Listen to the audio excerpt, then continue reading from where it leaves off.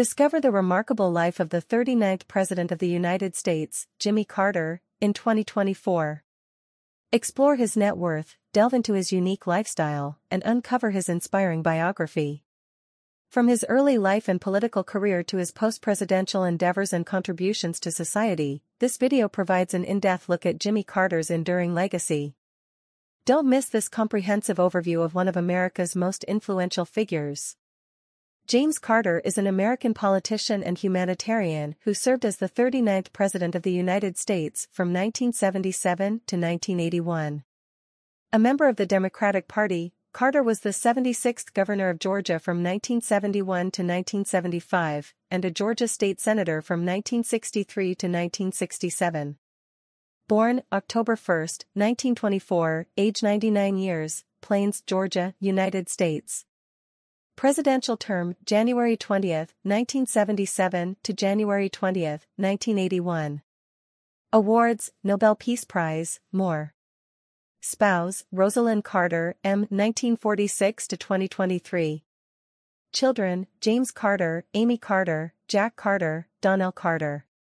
Vice President Walter F. Mondale, 1977 to 1981. Organizations founded The Carter Center, more. Jimmy Carter net worth $10 million.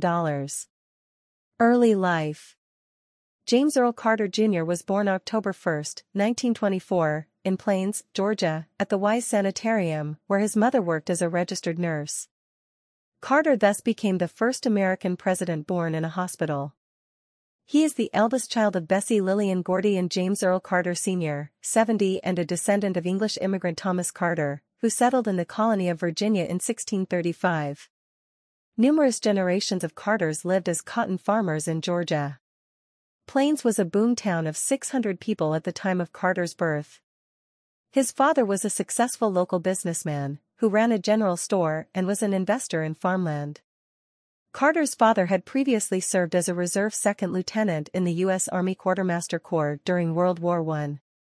During Carter's infancy, his family moved several times, settling on a dirt road in nearby Archery, which was almost entirely populated by impoverished African American families. His family eventually had three more children, Gloria, Ruth, and Billy. He got along well with his parents. His mother was often absent during his childhood, working long hours. Although his father was staunchly pro-segregation, he allowed Jimmy to befriend the black farmhands' children. Carter was an enterprising teenager who was given his own acre of Earl's farmland, where he grew, packaged, and sold peanuts. He also rented out a section of tenant housing that he had purchased. Personal life Carter's hobbies include painting, fly fishing, woodworking, cycling, tennis, and skiing. He also has an interest in poetry, particularly the works of Dylan Thomas. During a state visit to the UK in 1977, Carter suggested that Thomas should have a memorial in Poets' Corner at Westminster Abbey, this later came to fruition in 1982. Carter was a personal friend of Elvis Presley, whom he and Rosalynn met on June 30, 1973, before Presley was to perform on stage in Atlanta. They remained in contact by telephone two months before Presley's sudden death in August 1977. Carter later recalled an abrupt phone call received in June 1977 from Presley who sought a presidential pardon from Carter to help George Klein's criminal case. At the time Klein had been indicted for only mail fraud and was later found guilty of conspiracy. According to Carter, Presley was almost incoherent because of barbiturates, although he phoned the White House several times again, this was the last time they spoke.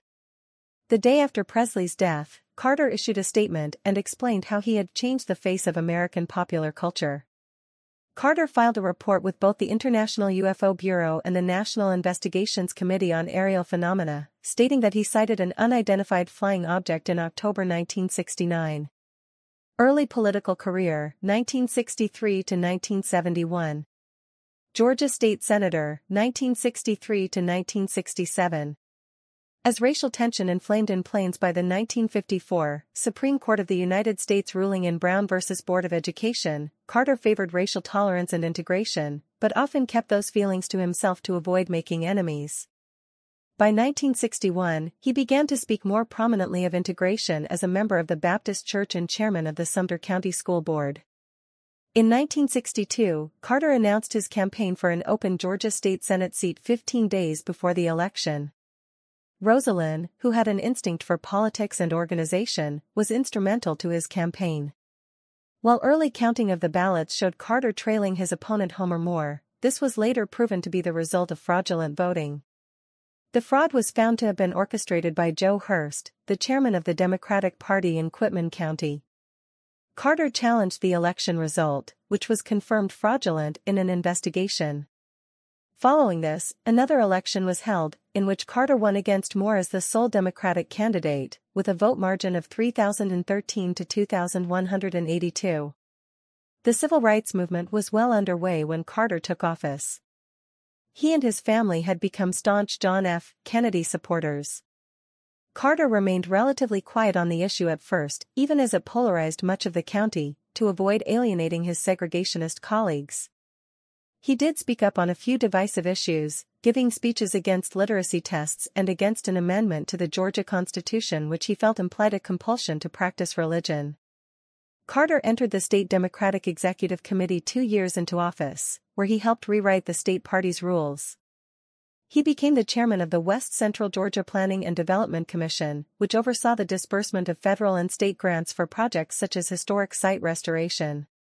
When Bo Callaway was elected to the United States House of Representatives in 1964, Carter immediately began planning to challenge him. The two had previously clashed over which two-year college would be expanded to a four-year college program by the state, and Carter saw Callaway, who had switched to the Republican Party, as a rival who represented aspects of politics he despised. Carter was re-elected to a second two-year term in the state Senate, where he chaired its Education Committee and sat on the Appropriations Committee toward the end of the term. He contributed to a bill expanding statewide education funding and getting Georgia Southwestern State University a four-year program. He leveraged his regional planning work, giving speeches around the district to make himself more visible to potential voters. On the last day of the term, Carter announced his candidacy for the House of Representatives. But Callaway decided to run for governor, and Carter changed his mind, deciding to run for governor too.